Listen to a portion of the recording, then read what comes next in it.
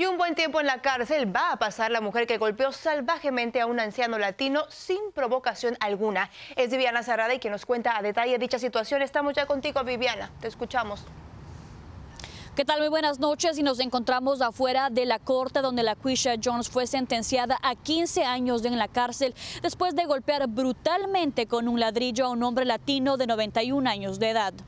El señor Rodolfo Rodríguez terminó ensangrentado y tirado en el suelo, después que la Quisha Jones lo golpeara con un ladrillo en julio del año pasado. La fiscalía le imputó cargos de abuso a un anciano y ella admitió haber empleado un bloque de cemento e infligir daño físico. A pesar de lo ocurrido, el señor Rodríguez, de 92 años, dice que no le guarda rencor. Digo yo de mi parte, si, la viera, le daba hasta un abrazo porque todos cometemos errores. Entonces, yo le perdono lo que hizo conmigo.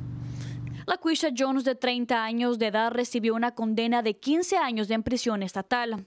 Y aunque Rodolfo ya ha vuelto a caminar, su recuperación ha sido difícil, ya que meses después del ataque aún presenta secuelas. Él tenía un sangrado en su cabeza entre el cráneo y el cerebro de los mismos golpes. Le hicieron dos hoyitos en la cabeza para drenar el sangrado que tenía.